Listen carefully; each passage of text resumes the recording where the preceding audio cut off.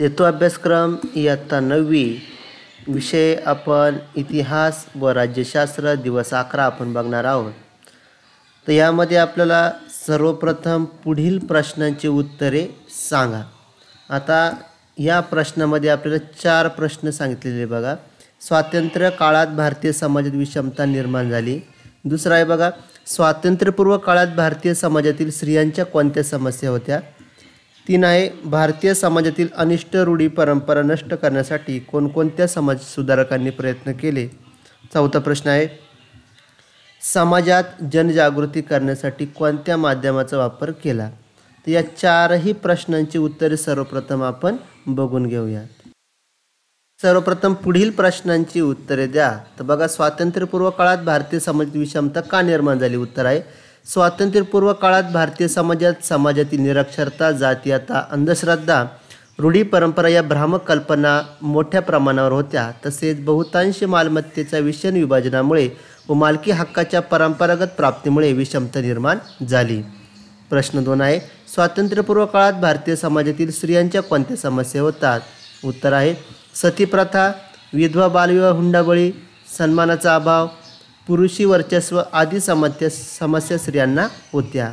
तिसरा प्रश्न भारतीय समाजातील अनिष्ट रूढी परंपरा नष्ट करण्यासाठी कोणत्या समाजसुधारकांनी कार्य केले? उत्तर आहे राजाराम मोहन राय महात्मा फुले सावित्रीबाई फुले स्वामी दयानंद सरस्वती स्वामी विवेकानंद राजर्षी शाहू महाराज रमाबाई रानडे आदींनी कार्य केले.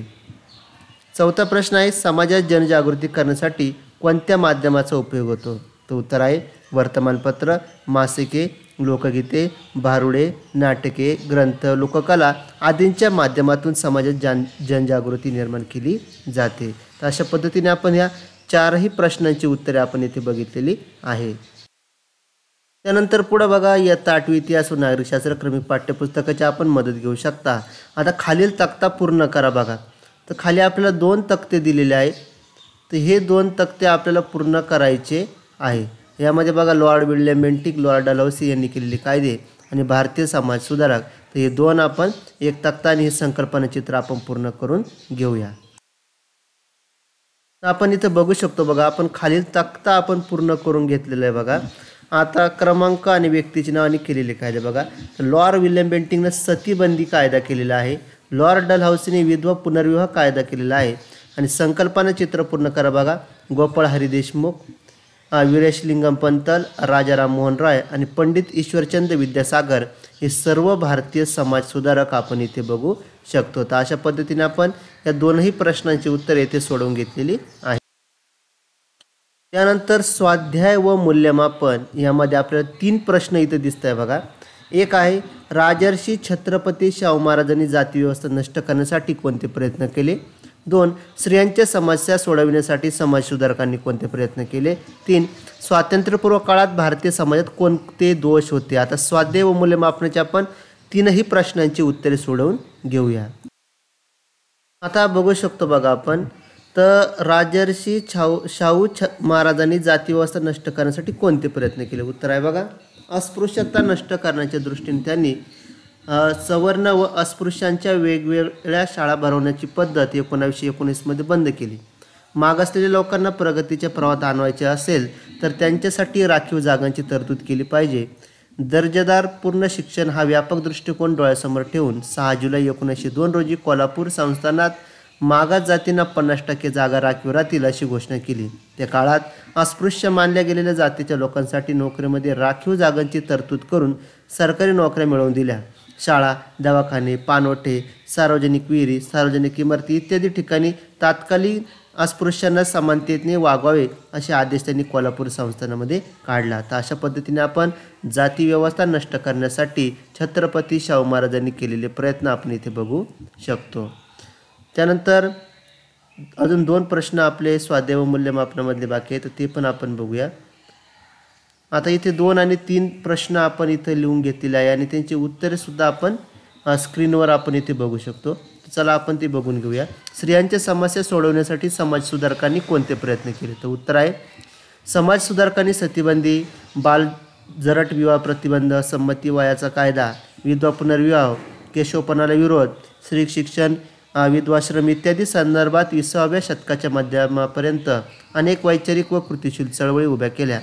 अठराशे अठ्ठेचाळीसमध्ये पुण्यातील भिडेवाड्यात स्त्रियांसाठी पहिली शाळा महात्मा फुले यांनी काढली.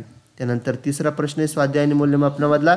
स्वातंत्र्यपूर्व काळात भारतीय समाजात कोणते दोष होते? तर उत्तर आहे स्वातंत्र्यपूर्व काळात भारतीय समाजात अंधश्रद्धा जातीयवाद उच्च निश्चता अस्पृश्यता बालिव सर्वांना शिक्षणाचा अधिकार नसणे आणि मूलभूत अधिकाराचा अभाव हे दोष मोठ्या प्रमाणावर त्या काळामध्ये होते. तर अध्याय अशा प्रकारे आपण स्वाध्याय व मूल्यमापन याचे तीन प्रश्न आपण बघितलेले आहेत.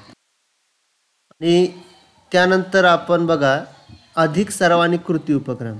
आता यामध्ये बघा छत्रपती शाहू महाराज शताब्दी निमित्त आयोजित केलेल्या एखाद्या उपक्रमाविषयी माहिती आपण लिहू. आणि स्त्री समाज सुधाराविषयी आंतरजालाच्या साहाय्याने माहिती संग्रहित करायची आहे. आंतरजाल इंटरनेटद्वारे आपण सर्च करून माहिती मिळवू शकता. आणि फक्त हा एक प्रश्न आपल्याला सोडवून घ्यायचा आहे तर चला त्याचं उत्तर आपण बघूया. इथं आपण कृती आणि उपक्रम आहे. बघ छत्रपती शाहू महाराज शताब्दी दिनिमित्त आयोजित केलेल्या एखाद्या उपक्रमाविषयी माहिती लिहा. तर उत्तर आहे बघा इथून. घनसांगवे ते राजर्षी शाहू महाराज शताब्दी कार्यक्रम संपन्न.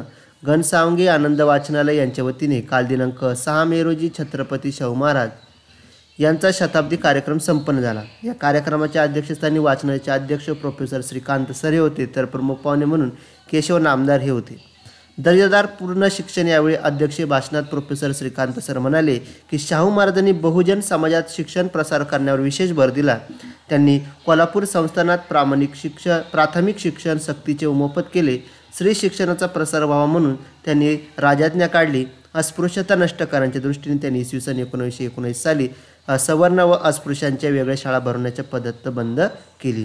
तर अशा पद्धतीने आपण हा शताब्दीनिमित्त आयोजित केलेला कार्यक्रम आपण येथे बघू शकतो. तर अशा पद्धतीने आपण स्वाध्याय व मूल्यमापन अधिक सराव आणि कृती उपक्रम हे सर्वचे सर्व प्रश्न आपण येथे सोडवून घेतलेली आहे.